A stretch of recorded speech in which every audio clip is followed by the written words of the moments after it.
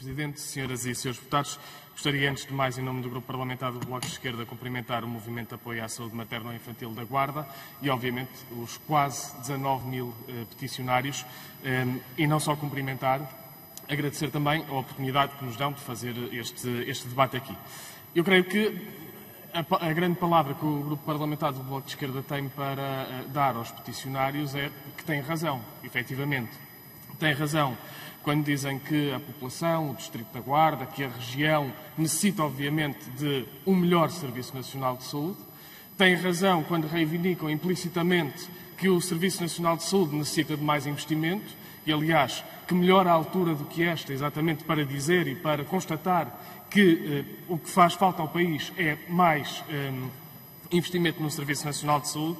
E têm razão os peticionários quando dizem que o Hospital Sousa Martins serve todo um distrito, só por isso é da maior importância,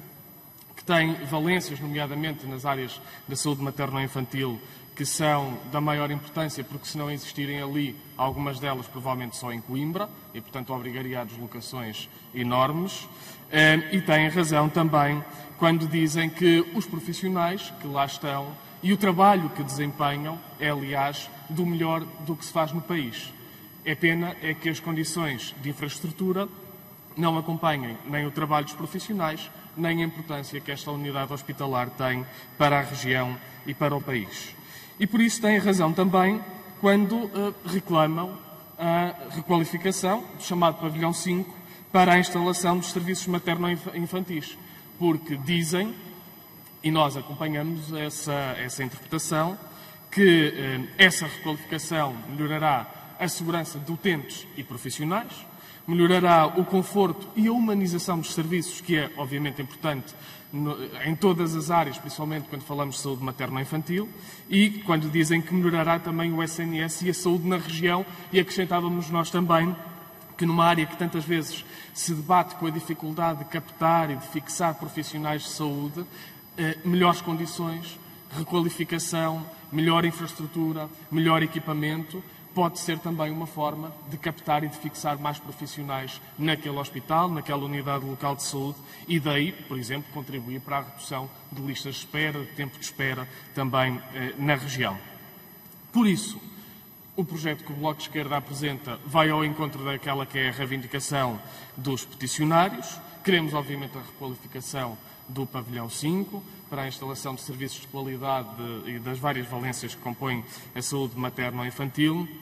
Queremos também, mais do que isso, já aqui se falou hoje na eh, segunda fase, não é uma novidade, não apareceu ontem, eh, não é algo que não tenha tido discussão eh, no passado e por isso parece efetivamente que, para ir ao encontro de tudo isto, de melhorar o Serviço Nacional de Saúde, melhorar a prestação de cuidados de saúde eh, à população daquele distrito, é preciso, obviamente, a requalificação do pavilhão 5, mas também a segunda fase integralmente. Aliás, já há projetos e há eh, várias discussão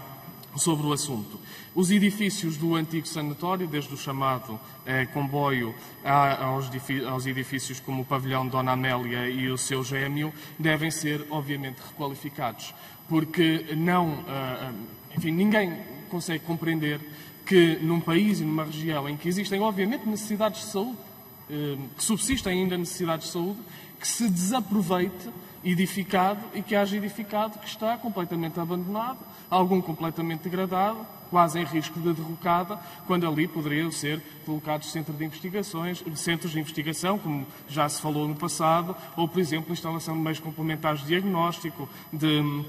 laboratório, eh, serviços de eh, endoscopias, por exemplo, tantas coisas que é preciso fazer, saúde visual, saúde psicológica, saúde oral no SNS, há tanta necessidade de saúde e há ali edificado que é preciso aproveitar, requalificar e por isso sim acompanhamos obviamente essas reivindicações e concordamos que deve ser colocado também em cima da mesa de uma vez por todas a questão da concretização de toda a chamada segunda fase tantos projetos de resolução, de tantos partidos, tantas palavras que parecem ser consonantes, enfim, a única expectativa, certamente, é que isto venha a ser realidade o mais rapidamente possível e é essa a expectativa do Bloco de Esquerda. Muito obrigado.